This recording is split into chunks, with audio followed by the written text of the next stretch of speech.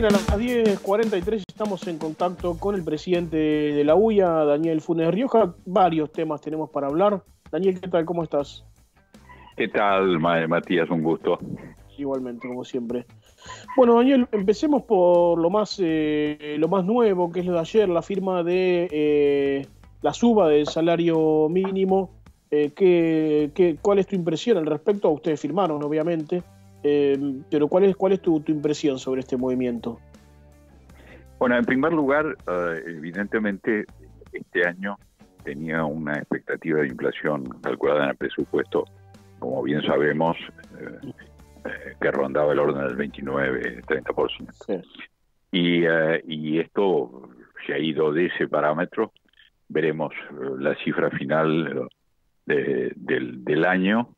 Eh, también, eh, obviamente, hemos tenido en cuenta que, que ha habido fluctuaciones eh, muy fuertes de, de, costos de insumos, sobre todo en, en, en la cadena alimentaria, sí.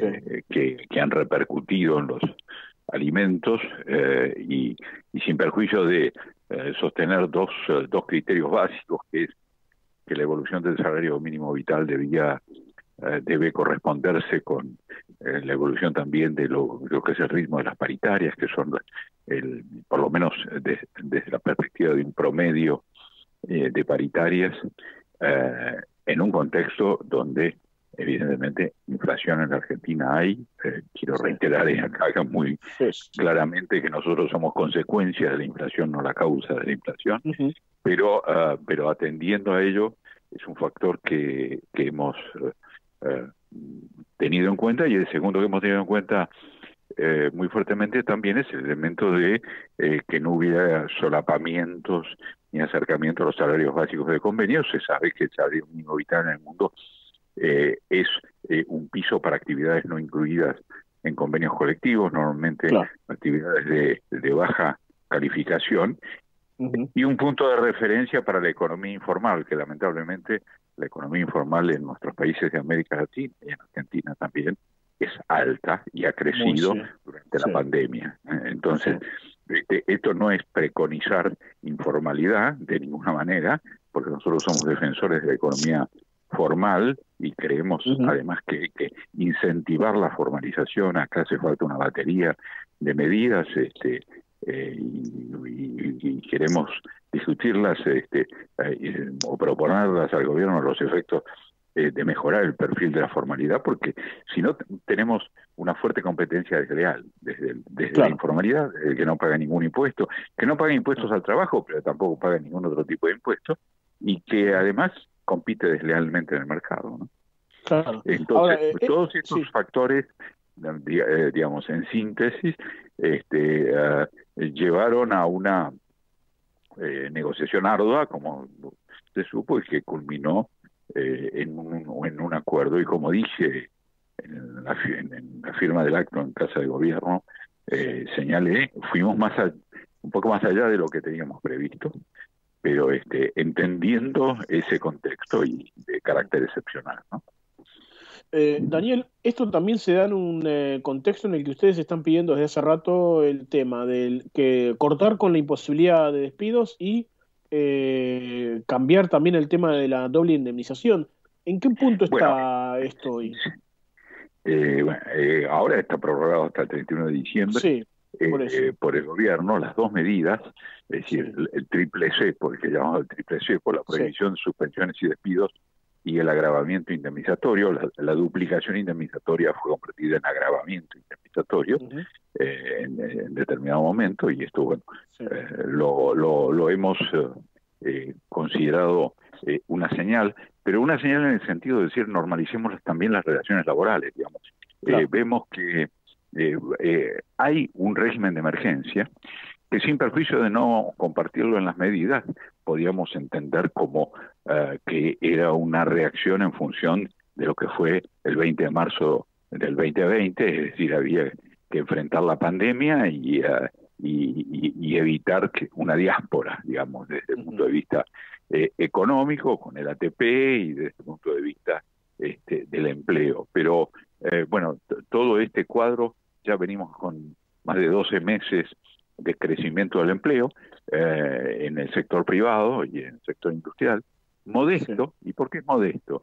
Y nosotros creemos que cuando uno tapona la salida, termina taponando la entrada, porque nadie se anima a contratar y nosotros pensamos que hoy es el momento de visualizar alguna modalidad, alguna forma de contratación de la emergencia para recomponer un mercado laboral que está eh, que, que se ha caído a la informalidad o, a la desocupación. Esto es, es así y esto, eh, esto es un dato, las cifras incluso en la región que ha dado la, la CEPAL eh, durante el 2020 este, son fuertes y si nosotros comparamos este, los últimos, eh, de la cantidad de empresas que teníamos en, 2014-2015 eran 600 y pico de mil y ahora tenemos 500 y pico de mil. Todo, todo, todo esto independientemente de los efectos de la recesión, la pandemia ha sido devastadora también para muchas actividades ¿eh? Eh, industriales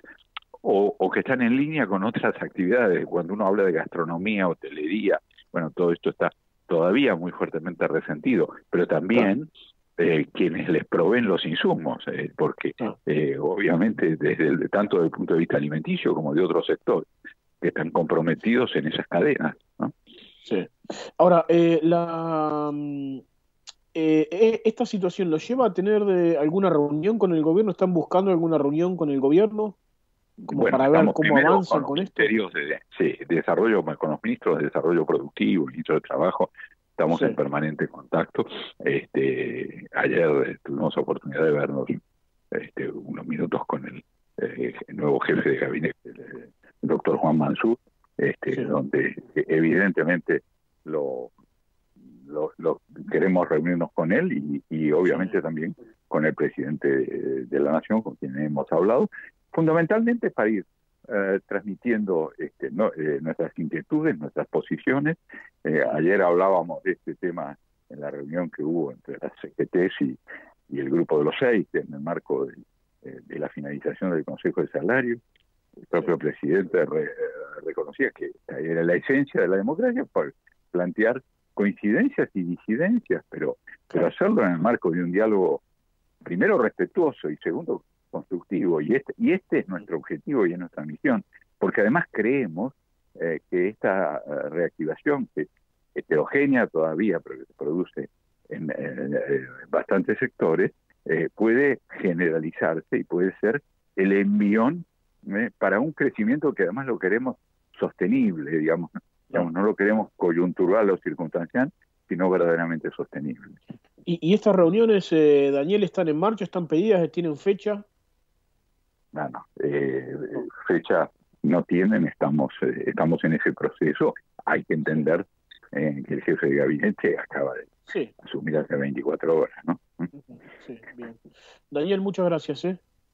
No, un gusto en saludar. Igualmente. Daniel Funes Rioja, presidente de la UIA, 1051, Tande y venimos.